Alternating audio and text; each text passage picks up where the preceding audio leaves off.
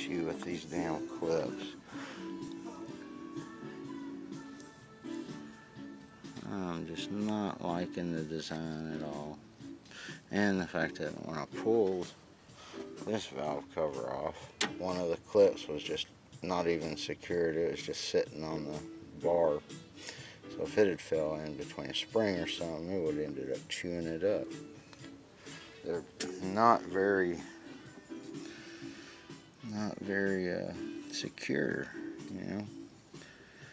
But considering that there's really no room between the bar and the uh, spark plug tubes,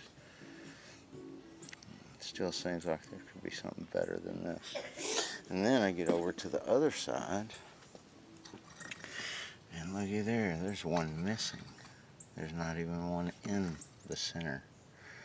And uh, I'm starting to think, okay, you don't necessarily have to have lifter or valve lash issues to have that tick. Because just that right there will be enough to tick like crazy when it's running. So I'm not sure. I think I'm going to try to just rig something up to, you know, perform like these would. I really wish there was some better thing, but I can't even find these nowhere. Not Rock Auto, not anywhere. So I'm not even sure what the hell they're even called.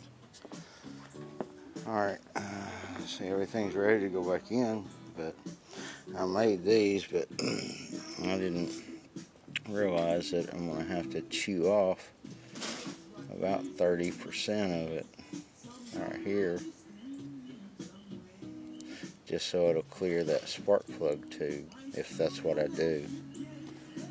But I'd much rather use these than these little cheesy clips if possible. Alright well whenever I make a decision I'll come back and continue on. Adios